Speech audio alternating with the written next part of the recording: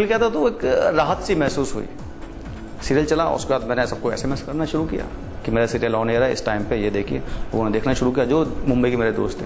फटाक से मुझे स्टार प्लस पे हेलो डॉली मिल गया।